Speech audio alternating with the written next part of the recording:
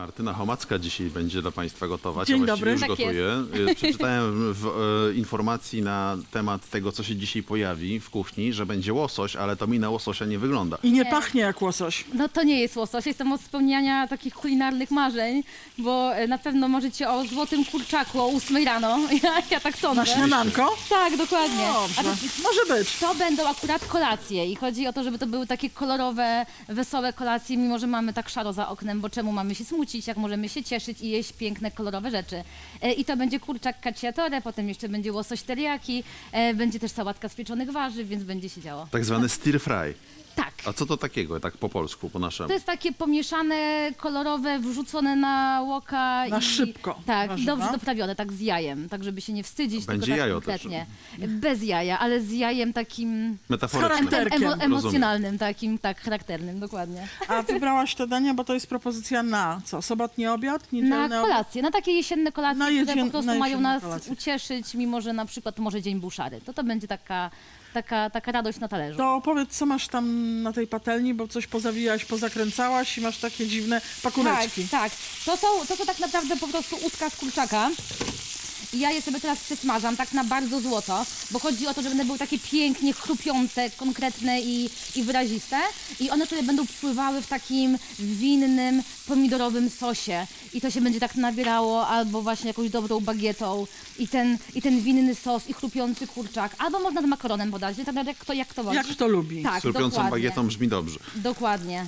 Na Ale- śniadanie po prostu dzisiaj mamy kurczaka złotego, więc... Ja myślę Więc tylko, tak. że po dzisiejszym programie twoja garderoba będzie do prania, bo jak chlapie Już tłuszcz, jest. to Już nie... jest! To Już niestety- widać znaki, że gotowałaś. Dokładnie. Może ale ja przyniesiemy fartuszek. Martynie. Nasz Oddać operator ma na sobie Martynie, fartuszek. I właśnie, E, Ale z komunii jeszcze, także nie wiem, czy on się nada.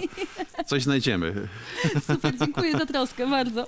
Po prostu Michel Moran ci kiedyś zabrał fartucha. Już nie oddał. Właśnie i nie, nie mam, no i taka jest. Zobaczymy, jaki będzie efekt tych kolorowych dań według obietnic Martyny już e, niedługo. Na razie widzę koloro- ko- kolorowe tatuaże i bardzo nie mogę od nich odebr- ode- odebrać wzroku.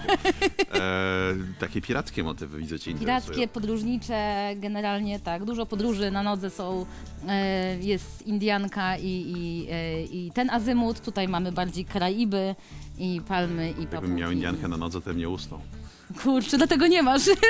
Tego nie mam. Ale to pięknie pachnie, to jest pyszne, to jest naprawdę dobre. To jest ten kurczak, który, e, o którym opowiadałaś wcześniej, uduszony Tak. w sosie pomidorowym, a, A tutaj obok mamy łososia teriyaki, tutaj już właśnie ściągnęłam skórę, w ogóle takim fajnym patentem na ściąganie skóry z łososia, jak, bo, bo czasami jakby ona jest pyszna i mamy na nią ochotę, ale czasami ona tak, chcemy, żeby ten łosoś tak się rozpadał w te warzywa, żeby tak, w- tak takie to było aksamitne i Martynko. wtedy, żeby ściągnąć ładnie sobie tą skórę, ja sobie najpierw tak strzelam właśnie od strony skóry tą rybę na taką gorącą patelnię, ona zaczyna skwierczeć i wtedy ja na drugą stronę ściągam skórę i to jest moment. Brzmi normalnie jak opowieść brzmi To jak akcji, Inkwizycji. To jest chwila, ale ja dzisiaj E, jestem poruszona. Martynko, Tak, no. bo ja mam pytanie, bo jak e, widzowie oglądają nasz program, to piszą do nas listy na kartkach pocztowych i właśnie jedna z nich dotarła do redakcji z pytaniem od gości z Warszawy, co to to te teriaki?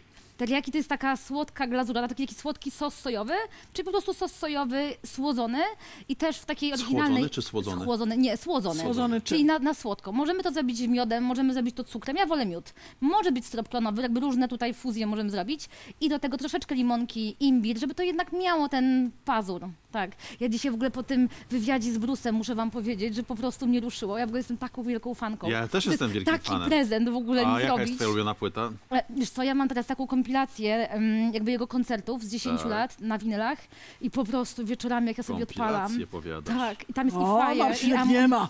Już. Nie, jestem psychofanką w ogóle, e, taką szaloną. No dobrze, ale e, jakbyś jego... miała wybrać spośród trzech klasycznych tytułów Brusa z e, Faję. Tunnel of Love, pierwsza O. płyta, Born in the USA, albo Born to Run, to trzy. Ja jestem taka wybrała? born to run, wiesz? Taka, Born to że run. ja się Przepraszam, przepraszam, stop! To jest rzecz o kuchni. A ja Proszę bym ba- wybrał Nebraskę. Bierz Nebraskę, bierz Indiankę na nodze, bierz co chcesz. E, Indiankę na nodze miał Radosław Majdan. tak. tak.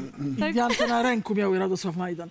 E, proszę pani, a te kolorowe warzywa jeszcze dokończmy. Tego nie żeby- wiedziałem. Kolorowe warzywa są bardzo ciekawe, bo ja będę, ja będę uskuteczniać e, e, jakby oswajanie ludzi z fenkułem. Ludzie się boją, jakby, jeśli chodzi Bo o jedzie podwóz- anyżem. Bo, je, bo jedzie anyżem, ale to nie jest taki anyż, anyż agresywny. To jest taki anyż przyjaciel. Oni Szczególnie jak taki... młody fenku jest. Tak, i One on jest... gadają, się zastanawiam. Jaki jest- anysz agresywny. Nie, bo, bo właśnie fenku jest takim warzywem, że Fenku ludzie jest, myślą, no, że... pachnie anyżem. On jest bardzo anyżowy, chodź sobie zobaczyć. Daj niuch, tak? niuchnąć, tylko Niuchnę. w dystansie.